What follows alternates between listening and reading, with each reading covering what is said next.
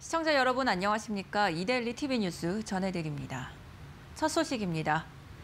정부가 메타버스 크리에이터 등 18개의 새로운 직업을 발굴해 국가 자격을 도입하는 등 시장 안착 지원에 나섭니다. 홍남기 부총리 겸 기획재정부 장관은 비상경제중앙대책본부 회의에서 디지털 기술 혁신 등으로 인한 노동시장 구조 변화에 더 적극 대응할 필요가 있다고 말했습니다. 이에 취약계층 지원 강화 측면에서 내년 1월 중 직접 일자리 60만 명 이상 조기 채용을 추진하고 고용 촉진 장려금 지급 확대도 적극적으로 추진하기로 했습니다.